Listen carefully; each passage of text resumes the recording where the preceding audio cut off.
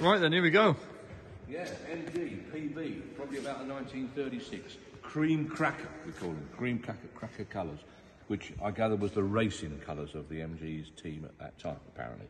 Um, I'm not an expert on it, but that is apparently what they were.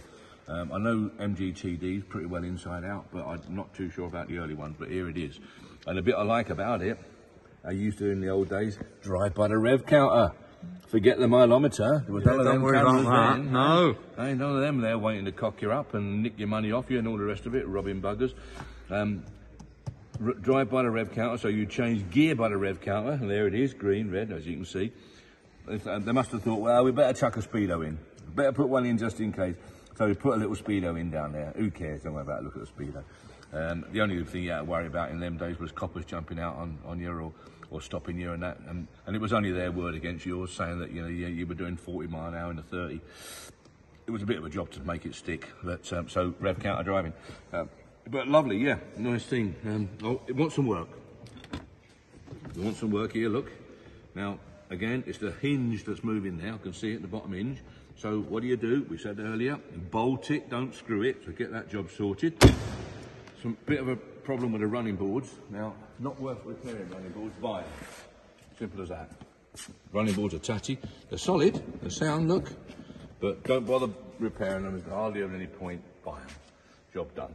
Um, it, the rest of the vehicle itself is very presentable. It's not a concours winning vehicle, but it's a very presentable vehicle.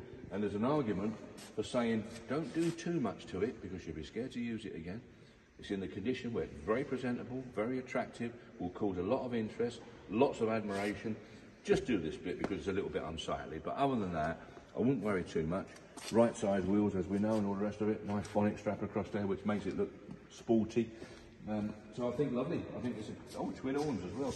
Uh, and I, I think in, in most cases you probably see a spotlight on one side, but anyway there you are.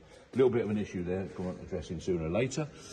Um, but what do you do? You know, you, like we, we keep saying, you spend all this money on them, and then you make them so mint. You look at the weather. Oh, don't, go out today. That just go out and use it. Park it anywhere. Park it in Sainsbury's car park. You know, I've spent all my life, and I, to this day, I still can't help it. I go into a car park, and I've got to look for somewhere in the corner so that some chump don't come along and start opening his door on your car.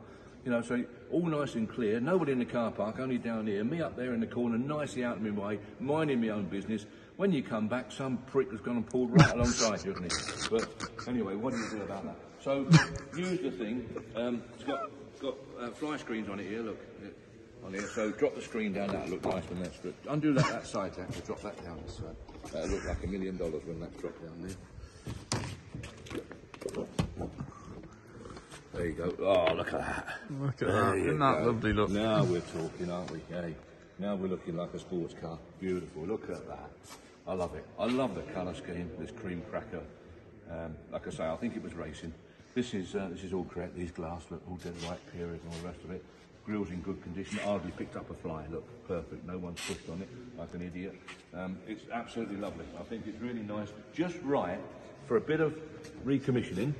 Um, a, a bit of um, a bit of weekend work almost. Not really a great deal want doing to it. But my advice, seriously, don't spend loads and loads of time and money at it. Enjoy the damn thing as it is.